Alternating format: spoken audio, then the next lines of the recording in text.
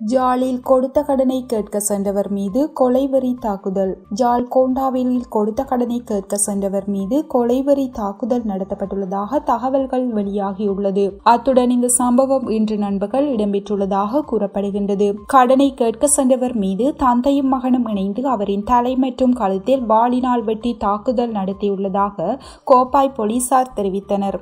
சம்பவத்தில் மோகனராஜா ரஜீவன் வயது முப்பத்தி ஏழு என்பவரே படுகாயமடைந்துள்ளதாகவும் தெரிவிக்கப்படுகின்றது. இதையடுத்து தாக்குதல் நடத்திய இருவரும் கைது செய்யப்பட்டதுடன் சம்பவம் தொடர்பில் மேலதிக விசாரணைகளை கோப்பாய் போலீசார் முன்னெடுத்துள்ளனர். இணையத்தில் விற்கப்பட்ட பதினைந்து வயது சிறுமி இலங்கையில் கைதான வெளிநாட்டின் முக்கியஸ்தர். இலங்கையில் பதினைந்து வயது சிறுமி பாலியல் தேவைகளுக்காக இணையதளம் ஊடாக விற்பனை செய்யப்பட்ட சம்பவம் தொடர்பில் கைது செய்யப்பட்ட மாலைதீவு பிரஜை மாலைதீவின் முன்னாள் நிதி ராஜாங்க அமைச்சர் ஒருவர் என தெரியவந்துள்ளது.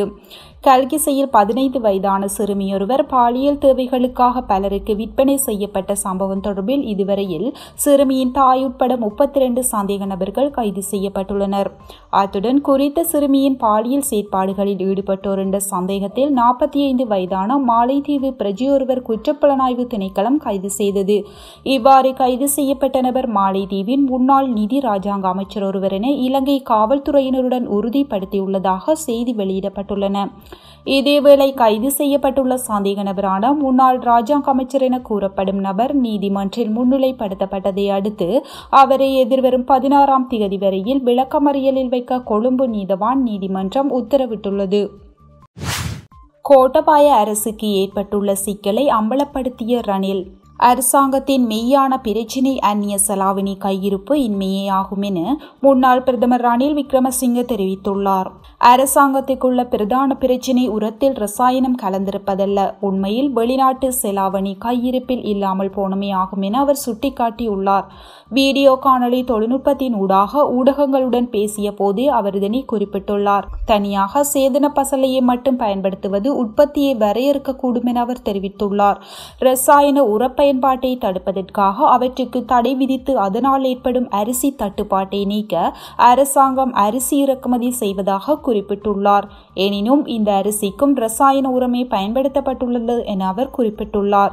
உலகில் பதினைந்து வீதமான விவசாய நிலங்களில் மட்டுமே சேதன பசலை பயன்படுத்தப்படுகின்றது என ரணில் சுட்டிக்காட்டியுள்ளார். சிறுவர் துஷ்பிரயோகம் தொடர்பில் வெளியான அதிர்ச்சி தகவல்.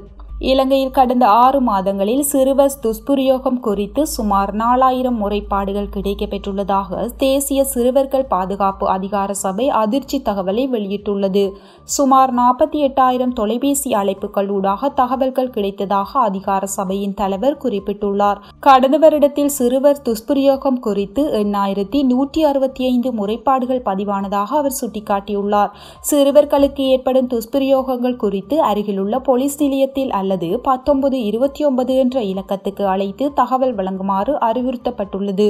இதேவேளை தரம் ஆறு முதல் பதிமூன்றாம் வகுப்பு மாணவர்களுக்கு இவை குறித்து தெளிவூட்டும் வகையில் மூன்று புதிய புத்தகங்கள் தயாரிக்கப்பட்டு வருவதாகவும் தேசிய சிறுவர் பாதுகாப்பு அதிகார சபை குறிப்பிட்டுள்ளது.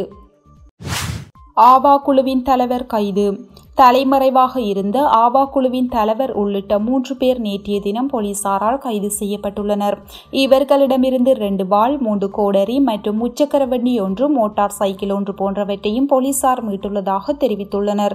கடந்த நான்கு தினங்களுக்கு முன்னர் கோண்டாவில் பகுதியில் ஒருவர் மீது வாழ்வெட்டு தாக்குதல் மேற்கொள்ளப்பட்ட நிலையில் அவரின் கை துண்டிக்கப்பட்டு அதனை வைத்தியர் ஒருவர் ஆறு மணி நேர சத்திர சிகிச்சையில் பொருத்தியுள்ளார். குறித்த வாழ்வெட்டு தாக்குதலை முன்னெடுத்த ஆவா குழுவின் தலைவர் உள்ளிட்ட சிலர் தலைமறைவாகியிருந்த நிலையிலேயே அவர்கள் நேற்றைய தினம் கைது செய்யப்பட்டனர்.